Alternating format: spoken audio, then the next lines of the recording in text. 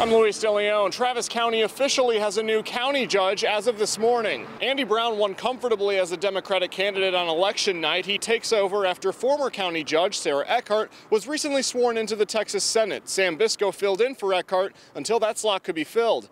Now, we spoke to Brown today to talk about his top priorities, and that includes things like criminal justice reform, battling COVID 19, and better access for health care in Travis County. I think health care access is a real concern among me and a lot of people in Travis County, and I want to make sure that we're doing working with Central Health in ways to provide access to health care clinics across Travis County. And when we asked Brown about whether or not he would make a decision on fully reopening bars, he said he would follow the advice of local health officials and follow science. Back to you.